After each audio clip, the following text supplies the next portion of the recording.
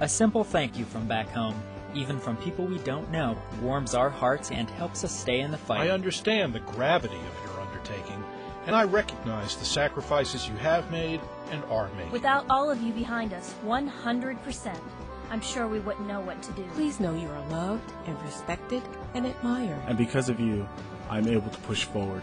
AmericaSupportsYou.mil. Log on today and get connected.